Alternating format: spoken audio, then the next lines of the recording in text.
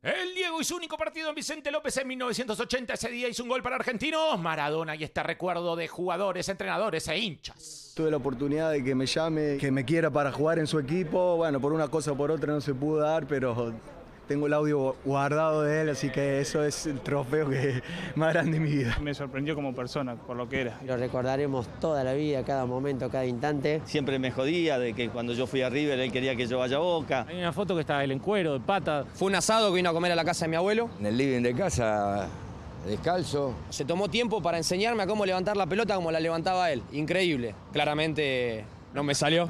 De mi parte, lo único que pido que que esté descansando en paz. Agradecerle por todo lo que hizo y después reprocharle. Sí. ¿Qué cosa, diga?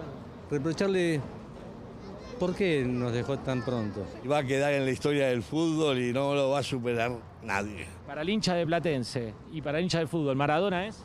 Dios. Es Dios.